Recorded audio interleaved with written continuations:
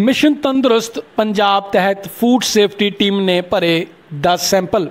ਪੀ 32 ਨਵਾਂ ਸ਼ਹਿਰ ਦੇਖ ਰਹੇ ਹੋ, ਮੈਂ ਦਿਨੇਸ਼ਵਰੀ ਜ਼ਿਲ੍ਹਾ ਸ਼ਹੀਦ ਭਗਤ ਸਿੰਘ ਨਗਰ ਦੇ ਸਿਹਤ ਵਿਭਾਗ ਦੀ ਫੂਡ ਸੇਫਟੀ ਟੀਮ ਨੇ ਸ਼੍ਰੀ ਮਨੋਜ ਖੋਸਲਾ, ਸਹਾਇਕ ਕਮਿਸ਼ਨਰ ਫੂਡ ਦੀ ਅਗਵਾਈ ਵਿੱਚ ਨਵਾਂ ਸ਼ਹਿਰ ਵਿੱਚ ਵੱਖ-ਵੱਖ ਕਰਿਆਨੇ ਦੀਆਂ ਦੁਕਾਨਾਂ ਤੇ ਛਾਪੇਮਾਰੀ ਕਰਕੇ ਖਾਣ ਪੀਣ ਦੀਆਂ ਵਸਤੂਆਂ ਦੇ 10 ਸੈਂਪਲ ਭਰੇ ਹਨ। ਇਸ ਟੀਮ ਵਿੱਚ ਸ਼੍ਰੀ ਬਿਕਰਮਜੀਤ ਸਿੰਘ ਅਤੇ ਦਿਨੇਸ਼ ਜੋਤ ਸਿੰਘ, ਫੂਡ ਸੇਫਟੀ ਅਫਸਰ ਸ਼ਾਮਲ ਸਨ।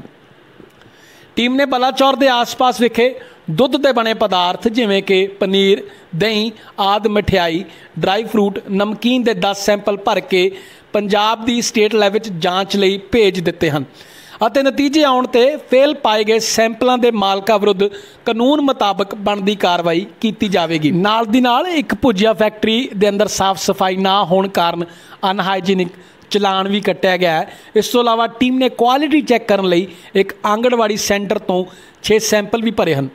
ਫਲ ਸਬਜ਼ੀ ਦੀਆਂ ਰੇੜੀਆਂ ਦੀ ਚੈਕਿੰਗ ਕੀਤੀ ਗਈ ਹੈ। ਗਲੇ, ਸੜੇ, ਫਲ ਤੇ ਸਬਜ਼ੀਆਂ ਮੌਕੇ ਤੇ ਨਸ਼ਟ ਕਰਵਾਏ ਗਏ ਹਨ।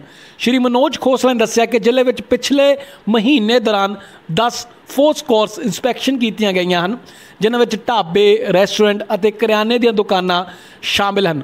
ਉਪਰੋਕਤ ਕਾਰਵਾਈ ਪੰਜਾਬ ਸਰਕਾਰ ਵੱਲੋਂ ਚਲਾਈ ਜਾ ਰਹੀ ਤੰਦਰੁਸਤ ਮਹਿਮ ਤਹਿਤ ਕੀਤੀਆਂ ਗਈਆਂ ਹਨ, ਜਿਸ ਦਾ ਉਦੇਸ਼ ਲੋਕਾਂ ਦੀ ਚੰਗੀ ਸਿਹਤ ਅਤੇ ਉਹਨਾਂ ਨੂੰ ਖਾਣ ਪੀਣ ਦੀਆਂ ਮਿਆਰੀਆਂ ਚੀਜ਼ਾਂ ਉਪਲਬਧ ਕਰਾਉਣਾ ਹੈ। ਉਹਨਾਂ ਨੇ ਕਿਹਾ ਕਿ ਆਉਣ ਵਾਲੇ ਤਿਉਹਾਰ ਦੇ ਦਿਨਾਂ ਨੂੰ ਮੁੱਖ ਰੱਖਦੇ ਹੋਏ ਖਾਣ ਪੀਣ ਵਾਲੀਆਂ ਚੀਜ਼ਾਂ ਵਿੱਚ ਮਿਲਾਵਟ ਨੂੰ ਰੋਕਣ ਲਈ ਵੱਡੇ ਪੱਧਰ ਤੇ ਚੈਕਿੰਗ ਕੀਤੀ ਜਾਵੇਗੀ, ਤਾਂ ਜੋ ਲੋਕਾਂ ਨੂੰ ਸਾਫ਼ ਸੁਥਰਾ ਅਤੇ ਮਿਲਾਵਟ, ਰਹਿਤ, ਖਾਣ ਪੀਣ ਵਾਲੀਆਂ ਵਸਤਾਂ ਮਿਲ ਸਕਣ ਅਤੇ ਦੋਸ਼ੀਆਂ ਖਿਲਾਫ ਫੂਡ ਸੇਫਟੀ ਐਕਟ ਅਧੀਨ ਸਖਤ ਕਾਰਵਾਈ ਕੀਤੀ ਜਾਵੇਗੀ।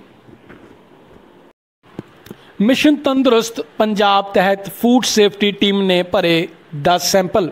ਪੀ 32 ਨਵਾਂ ਸ਼ਹਿਰ ਦੇਖ ਰਹੇ ਹੋ, ਮੈਂ ਦਿਨੇਸ਼ਵਰੀ ਜ਼ਿਲ੍ਹਾ ਸ਼ਹੀਦ ਭਗਤ ਸਿੰਘ ਨਗਰ ਦੇ ਸਿਹਤ ਵਿਭਾਗ ਦੀ ਫੂਡ ਸੇਫਟੀ ਟੀਮ ਨੇ ਸ਼੍ਰੀ ਮਨੋਜ ਖੋਸਲਾ, ਸਹਾਇਕ ਕਮਿਸ਼ਨਰ ਫੂਡ ਦੀ ਅਗਵਾਈ ਵਿੱਚ ਨਵਾਂ ਸ਼ਹਿਰ ਵਿੱਚ ਵੱਖ-ਵੱਖ ਕਰਿਆਨੇ ਦੀਆਂ ਦੁਕਾਨਾਂ ਤੇ ਛਾਪੇਮਾਰੀ ਕਰਕੇ ਖਾਣ ਪੀਣ ਦੀਆਂ ਵਸਤੂਆਂ ਦੇ 10 ਸੈਂਪਲ ਭਰੇ ਹਨ। ਇਸ ਟੀਮ ਵਿੱਚ ਸ਼੍ਰੀ ਬਿਕਰਮਜੀਤ ਸਿੰਘ ਅਤੇ ਦਿਨੇਸ਼ ਜੋਤ ਸਿੰਘ, ਫੂਡ ਸੇਫਟੀ ਅਫਸਰ, ਸ਼ਾਮਲ ਸਨ। ਟੀਮ ਨੇ ਬਲਾਚੌਰ ਦੇ ਆਸ-ਪਾਸ ਵਿਖੇ ਦੁੱਧ ਦੇ ਬਣੇ ਪਦਾਰਥ ਜਿਵੇਂ ਕਿ ਪਨੀਰ, ਦਹੀਂ, ਆਦ, ਮਠਿਆਈ, ਡਰਾਈ ਫਰੂਟ, ਨਮਕੀਨ ਦੇ 10 ਸੈਂਪਲ ਭਰ ਕੇ ਪੰਜਾਬ ਦੀ ਸਟੇਟ ਲੈਵਲ ਵਿੱਚ ਜਾਂਚ ਲਈ ਭੇਜ ਦਿੱਤੇ ਹਨ। ਅਤੇ ਨਤੀਜੇ ਆਉਣ ਤੇ ਫੇਲ ਪਾਏ ਗਏ ਸੈਂਪਲਾਂ ਦੇ ਮਾਲਕਾਂ ਵਿਰੁੱਧ ਕਾਨੂੰਨ ਮੁਤਾਬਕ ਬਣਦੀ ਕਾਰਵਾਈ ਕੀਤੀ ਜਾਵੇਗੀ। ਨਾਲ ਦੀ ਨਾਲ ਇੱਕ ਭੁਜੀਆ ਫੈਕਟਰੀ ਦੇ ਅੰਦਰ ਸਾਫ਼ ਸਫ਼ਾਈ ਨਾ ਹੋਣ ਕਾਰਨ ਅਨਹਾਈਜੀਨਿਕ ਚਲਾਨ ਵੀ ਕੱਟਿਆ ਗਿਆ ਹੈ। ਇਸ ਤੋਂ ਇਲਾਵਾ ਟੀਮ ਨੇ ਕੁਆਲਿਟੀ ਚੈੱਕ ਕਰਨ ਲਈ ਇੱਕ ਆਂਗਣਵਾੜੀ ਸੈਂਟਰ ਤੋਂ 6 ਸੈਂਪਲ ਵੀ ਭਰੇ ਹਨ। ਫਲ ਸਬਜ਼ੀ ਦੀਆਂ ਰੇੜੀਆਂ ਦੀ ਚੈਕਿੰਗ ਕੀਤੀ ਗਈ ਹੈ ਗਲੇ, ਸੜੇ, ਫਲ ਤੇ ਸਬਜ਼ੀਆਂ ਮੌਕੇ ਤੇ ਨਸ਼ਟ ਕਰਵਾਏ ਗਏ ਹਨ।